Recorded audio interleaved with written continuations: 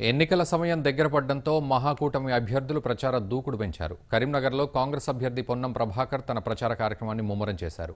ఇంటింటి ప్రచారం నిర్వహించిన పొన్నం ప్రభాకర్ టీఆర్ఎస్ వైఫల్యాలను ప్రజలకు తెలియపరుస్తున్నట్లు తెలిపారు. Real estate granite industry hotel industry. ప్రజల సమస్యలు ఎన్నో పట్టించుకోలే. ఇది ప్రజలు గమనిస్తా ఉన్నారు. పది సంవత్సరాలు శాసనసభ్యుడిని మార్పు కోరుకుంటా ఉన్నారు.